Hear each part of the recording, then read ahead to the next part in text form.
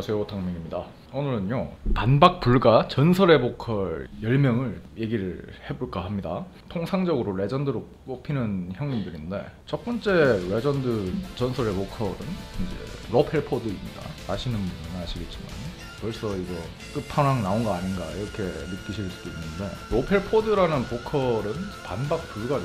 전설의 보컬에 무조건 드는 보컬이고 록 음악 잡지라던가 순위를 매길 때 항상 탑10 안에 무조건 들고요. 뭐 1, 2, 2위를 다투는 그런 보컬입니다. 롭 핼포드 같은 경우는 이제 주다스 프리스트의 보컬인데 헤비메탈의 상징적인 존재죠. 아주 그 금속성의 보이스가 매력적인 그런 보컬이고 이 형님은 별명이 Metal God입니다. Metal God, 메탈의 신이다 이렇게 보시면 되는데 보컬로 누가 최고입니까? 이러면 롭 핼포드가 최고인 것 같다. 누구나 이 고개를 끄덕이는 그런 보컬이라고 보면 되고 고음, 뭐 저음, 중음 다 뭐 끝판왕이라고 보시면 되고요. 금속성 보이스가 뭔지를 느낄 수 있는 그런 보컬이죠. 대표 곡으로는 뭐 Sentinel이란 곡이랑 뭐 Painkiller, 뭐 Touch of Evil 이런 셀 수 없는 명곡들이 있는데 반박 불가 전설의 보컬 중에 한 명이 롭 핼포드를 뽑아왔고요. 오늘은 좀 간단하게 이렇게 뽑아보겠습니다. 두 번째 전설의 보컬은 로니 제임스 디오입니다. 이거는 제가 또 영상을 만들었었는데 더 이상 뭐 말이 필요하겠습니까? 보컬의 끝판왕이다. 존경해 마지않는 그런 보컬이고 레인보우라는 밴드랑 뭐 블랙 사바스 그리고 디오 솔로 이런 걸로 활동을 하셨는데 드라마틱한 보이스가 매력이죠.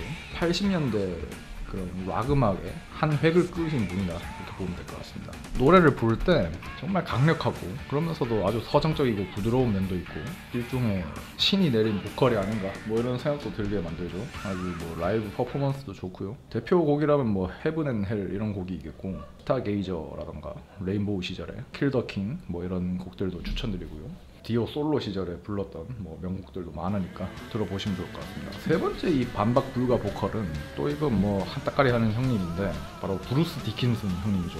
아, 이 형님은 진짜 영국의 그 헤비메탈의 영원한 형님이라고 보면 될 것 같고 이 형님은 비행기까지 몰 수 있습니다. 팔방 미인이라고 보면 되는데 뭐 음악 분야뿐만 아니라 전방위적 모든 분야에 아주 재능이 많은 사람이죠. 특히 뭐 역사라던가 이런 전쟁사 이런 거에 대한 굉장한 연구를 많이 하고 잘 알기 때문에 그 아이언 메이든 가사 같은 것도 보면은 굉장히 그 역사적인 맥락에 따라서 가사를 만들고 이래가지고 깊이가 엄청납니다. 완벽한 보컬이라던가 라이브 퍼포먼스도 대단하고요.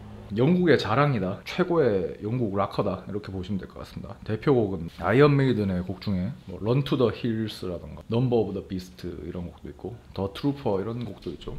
짱난다. 방금 말씀드린 세 명 있지 않습니까? 지구 공용 화폐라고 보시면 됩니다. 일종의 지구촌 어디를 가든지 보컬 얘기를 할 때 탁 얘기를 하면은 야 이 양반 뭘 좀 아는구만 이런 말이 나올 수밖에 없는 정말 뭐 untouchable의 그 레전드 보컬이라고 보시면 될 것 같고요. world standard 뭐 이런 거라고 보시면 되는데 아무튼 그런 거고요.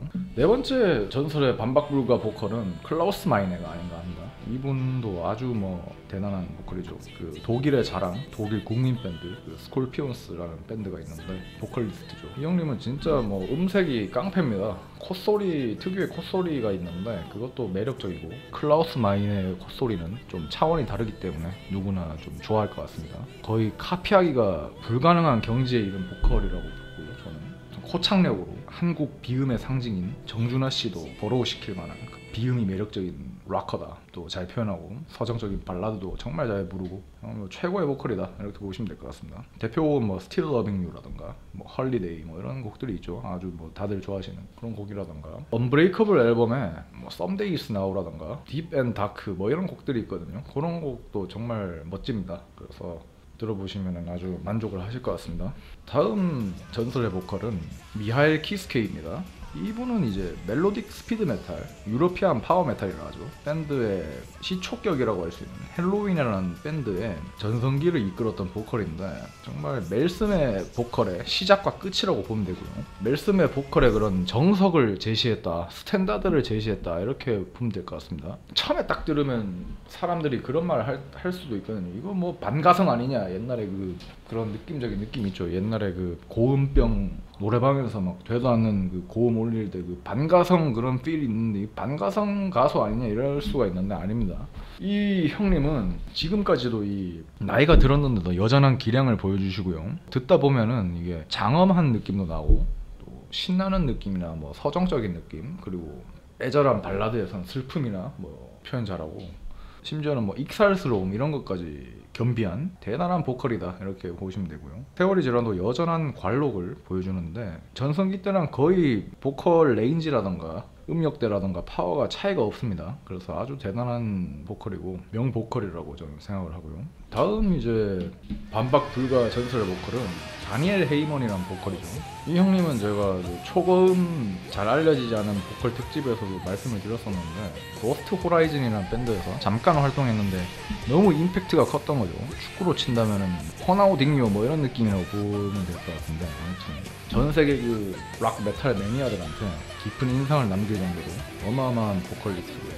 모든 면에서 만렙을 찍은 괴물이 아닌가 저는 생각합니다. 어마어마한 성량은 기본이고 음색도 깡패고 뭐 보컬 테크닉이나 파워 뭐 락커의 상징이라고 할 수 있는 고음 낼 수 있는 variation이라던가 이런 게 뭐 완벽에 가깝다. stat으로 치면은 별표를 가장자리를 찍어 있다. skill tree를 딱 창을 딱 열었는데 야 이거 만렙 찍으셨네. 이런 느낌이죠 조금 아쉬운 거는 이게 로스트 호라이즌이라는 밴드의 곡은 좀 별로다 이런 사람들이 좀 있죠 하지만 그분들도 이구동성으로 말하는 게 뭐냐면은 그렇지만 다니엘 헤이먼 보컬은 죽이더라. 이거는 뭐 무조건 인정을 할 수밖에 없습니다. 그걸 인정 안 하면 이거는 조금 살짝 그건 아니거든요. 그러니까 이런 거죠. 우리나라에서 제일 잘생긴 사람이 누구냐 하면 이제 뭐, 뭐 원빈님이라던가 뭐 이런 배우 멋진 배우분들이 있는데 원빈, 강동원 이런 분들이 있지 않습니까? 그런 분들이 이제 아 그 사람은 내 스타일은 아니다 뭐 이렇게 말은 말은 할 수 있지만 감히 그 사람이 못생겼다고 말할 수는 없는 거죠 그거는 눈가리가 삐꾸인 거죠 뭐 그런 식으로 이 다니엘 헤이먼도 보컬계의 원빈이다. 뭐 이렇게 뭐 괴랄한 소리를 했는데 아무튼 그런 느낌이 있다. 이렇게 보시면 될 것 같습니다. 그리고 다음 레전드 보컬은 에릭 아담스입니다. 이거는 제가 매너워 특집에도 말씀드렸는데 이 보컬은 진짜 매너워라는 그 전설의 헤비메탈 밴드를 이끌어가는 정말 멋진 형님인데 저는 개인적으로 이 형님이 마초 헤비메탈 요거에 딱 걸맞는 보컬이라고 생각을 하고요. 정말 끝이 없는 야만성과 high pitch와 뭐 어마어마한 그런 표현력이라던가 이런 게 아주 뭐 더 이상 뭐 헤비메탈 보컬로서는 뭐 더 이상 바랄 게 없는 수준이죠 제가 정말 좋아하는 보컬이고 아는 사람은 아는 고개를 끄덕이는 최고의 보컬 중 한 명입니다. 추천곡은 뭐 Blood of Kings라던가 뭐 Hail and Kill 뭐 이런 곡을 들으면은 진짜 이 양반 득음의 경지에 올랐구나 뭐 이런 느낌을 받을 수 있고요. 그리고 다음 보컬은 제프 테이트입니다. 제프 테이트는 이제 워낙에 그리워하는 분들도 많고 이래서 이번 영상에서 잠깐 다룰 건데 Queensrÿche라는 그 전설의 프로그레시브 헤비메탈 밴드의 전성기를 담당했던 보컬리스트죠.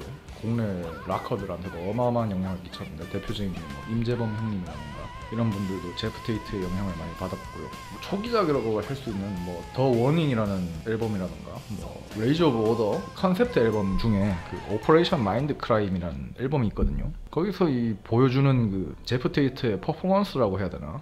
진짜 뭐 전설의 반열에 들기에 충분하다 이렇게 생각을 합니다. 정말 뭐 드라마틱한 표현력은 물론이고 진짜 자유롭게 그 3옥타브를 좆밥으로 그 넘나드는 어마어마한 그 가창력 한 치의 그 흔들림이 없는 가창력 이런 거는 정말 경악 그 자체다. 제가 알기로 이분이 테너 성부가 아닌 걸로 알고 있거든요.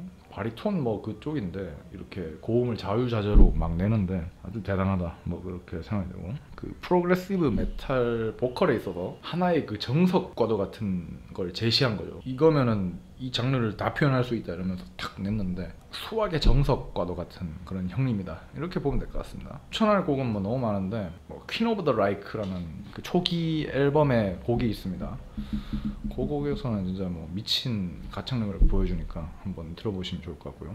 다음 전설의 보컬은 마이클 스위트입니다. 이분은 뭐 워낙에 유명하니까 스트라이퍼의 보컬이죠. 또 김경호 형님의 정신적인 지주이자 조금 영향을 많이 주는 스승 같은 존재고 어마어마한 뭐 미성과 엄청난 파워의 샤우팅, 뭐 성악을 베이스로 하는 탄탄한 발성이라던가 이런 게 아주 뭐 끝판왕 보컬이고 심지어 뭐 4옥타브를 넘는 초고음을 들려주기도 하는데 정말 뭐 아무리 고음을 올려도 그 발성이 엄청 탄탄하기 때문에 고음이 아무리 올라가도 밀도를 잃지 않는 거예요. 누구나 들으면은 대단하다 이렇게밖에 느낄 수 없는 보컬인 거고 라이브에서도 뭐 한치의 흔들림이 없죠 이 형님은 마이클 스위트를 아주 뭐 최고의 보컬 중에 하나다 이렇게 저는 얘기를 하고 싶습니다. 그리고 다음 마지막 그 전설의 보컬은 개인적인 건데 Midnight이라는 보컬입니다. 이분은 이제 Crimson Glory라는 밴드의 전설적인 보컬이었는데 지금은 고인이 됐지만 Crimson Glory의 그 목소리를 담당했던 보컬이거든요. 이 형님은 뭔가 그 차가운 쇳소리 그 자체입니다. 하늘을 찌를 듯한 그런 고음 물론이고 뭐 저음이나 뭐 중음도 아주 매력적인데 서정적이고 차가운 매력을 지닌 보컬리스트인데 아주 묘한 매력이 있는 범접 불가의 보컬이다. 저는 이렇게 보고요.